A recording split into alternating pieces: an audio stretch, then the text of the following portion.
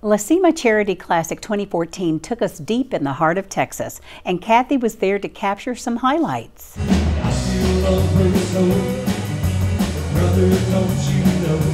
Even before the sun set over Lake Carolyn, the music was already rocking, the silent auction was already rolling, and everyone was set for a Texas sized good time.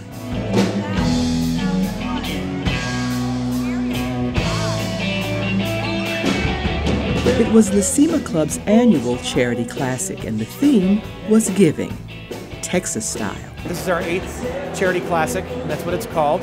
And we theme it every year, and this year we chose Deep in the Heart of Texas. Why not? We're right right here in North Texas. I couldn't think of a better theme. If it's true that everything is bigger in Texas, then the Charity Classic was right on point, supporting not one, but three charities. Where the first two are designated by our parent company. La Cima Club General Manager Mike Gott explained that parent company ClubCorp challenged all of their properties to raise money for two important causes Augie's Quest, which battles Lou Gehrig's disease, and the second one, also a very passionate charity, is called the Employee Partner Care Foundation.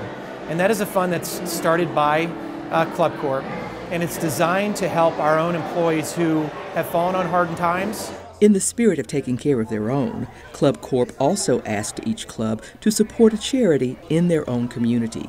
For the first time, La Cima Club selected Irving Cares. We do have some great advocates that are members of La Cima Club that were pitching us to, to them so that they could really focus on local and very local, not a national name brand. It's just really just Irving Cares and taking care of the people that are really here. Irving Cares CEO Teddy Story was especially grateful for the support because charitable giving is down throughout the country.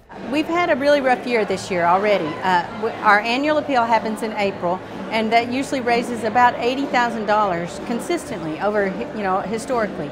But this year it raised only 40. But funding from the Charity Classic could help turn that around.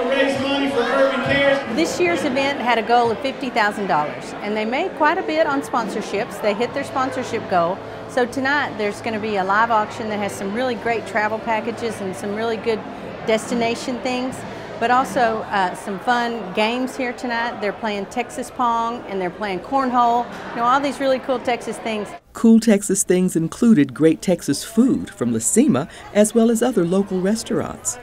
A silent auction that featured everything from jewelry to Texas cocktails, and a live auction designed for fun and raising funds. One, two, three.